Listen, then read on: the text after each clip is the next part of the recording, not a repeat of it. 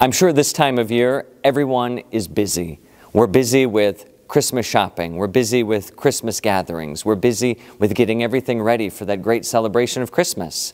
Ironically, this season of preparation, Advent, calls us to be quiet, to settle down, to take some time.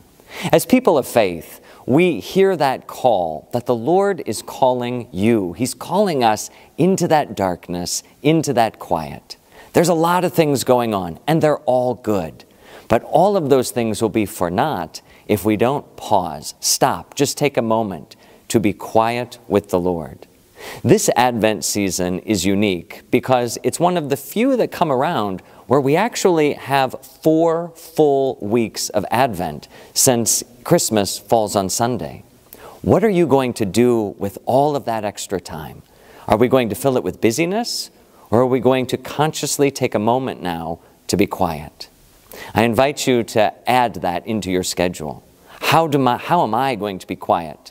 Maybe find the scriptures, open them up, spend some time daily reading the Word of God, that Word made flesh, the one who appears in Bethlehem.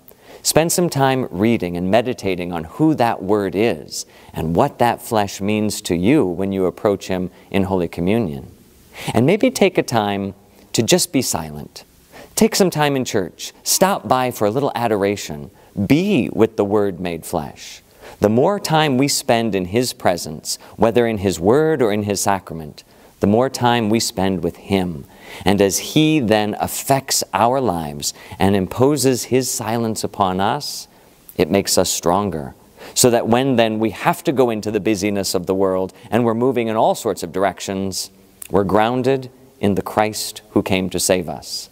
This Advent may be filled with much busyness, but this Advent also calls you to a certain quiet and silence. Embrace the silence and find the strength of the Lord in that.